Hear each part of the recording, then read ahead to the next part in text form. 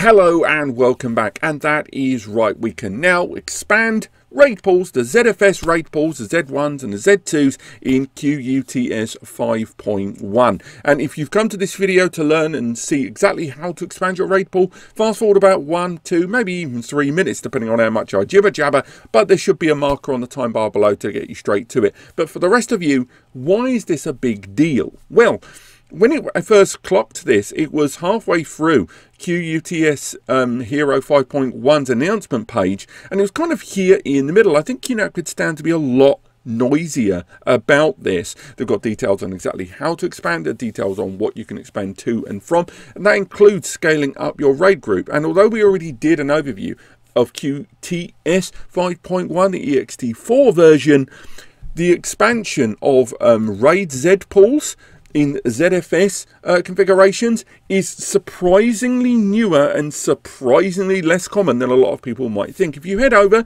to the other, and let's face it, the original massive ZFS platform, TrueNAS or Free uh, or FreeNAS or all the different names that came before it, um, right on that platform, depending on where you read, RAID expansions of those RAID Z um, storage areas um, isn't quite as far ahead as a lot would like. And again, although it was announced quite a decent amount of time ago, we've not seen it fully integrated yet. And again, they are getting closer to it. The nearest we've seen is they are targeting towards Q3 of this year. And again, the feature has been broken down, how they're going to approach it in those VDEVs. And again, depending on where you read, it is certainly on the road to being completed, but it's not quite there and fully um, established yet. They are on the home stretch, but there are still users wondering where it is, which brings us over to the QNAP side of things. Because on the QNAP here, what we've got is a couple of RAID groups. As you can see, I've got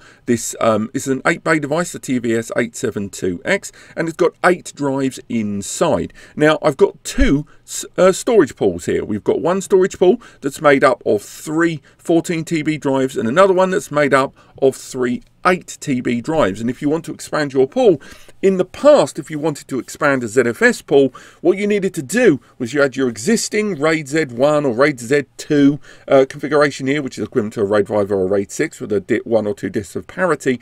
Um, and if you wanted to expand, in the previous um, ZFS approach, you needed to create a separate RAID group. So you'd need at least two disks, and then you had to kind of bundle them together. Uh, one of the issues there, of course, alongside a lot of stuff for people running uh, multiple kind of pools, was you couldn't just add one drive. You had to add two drives, and you were always going to lose drives to parity. So even if you got two drives, you weren't getting two drives of capacity there. Now, what this does here is use a I would argue, much more uh, EXT uh, QTS 5 approach to these things because they've recalculated things slightly there. And if we go over to the manage icon here, we'll manage this pool.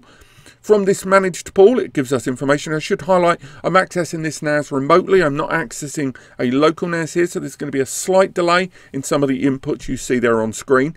And from the storage pool, you can see those three disks there. We go to our manage, we oh, sorry, we go to action, I should say. From there, go to expand pool.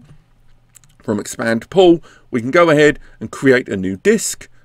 Select our RAID group we can add a disk to that existing RAID group. It will show the listed drives. As you can see, there is another blank drive in there. It's an 8 TB, which is not suitable for expanding this because we have to, you know, have those similar size drives that we've got in our existing pool. Select that drive there. Again, if we had more drives, we could scale up and change the RAID if we choose.